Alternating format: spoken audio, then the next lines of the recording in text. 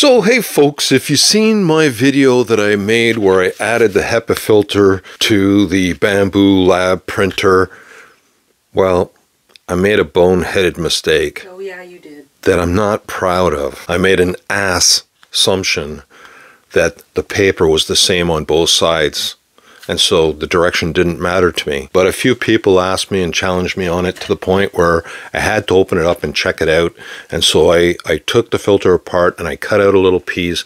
And sure enough, the paper is not the same on both sides. So this paper, they actually, they do a folding pattern. So it looks identical on both sides. It's just that the material is not the same. So I'm going to show you a quick fix for this that will allow you to still use the model that I designed and printed so it's not wasted so that you won't have to reprint. And I don't love this, but it is an easy way to salvage the hardware.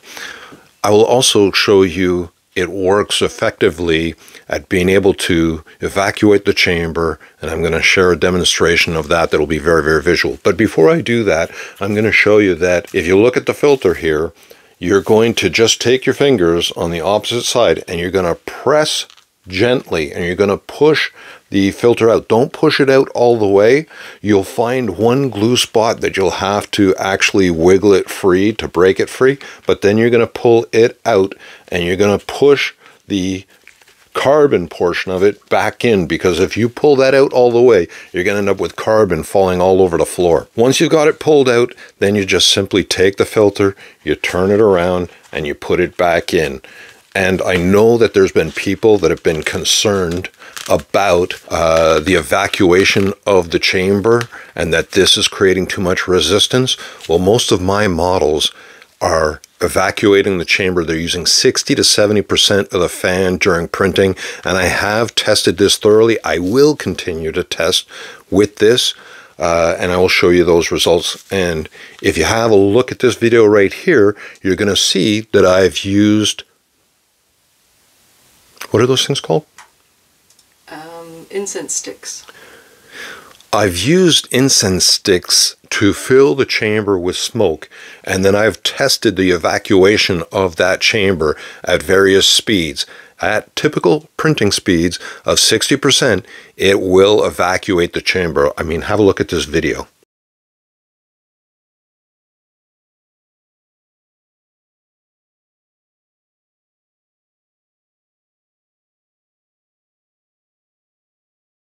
I'll be keeping an eye on mine, and I am still convinced that at least this HEPA filter is better than the one that comes with the system.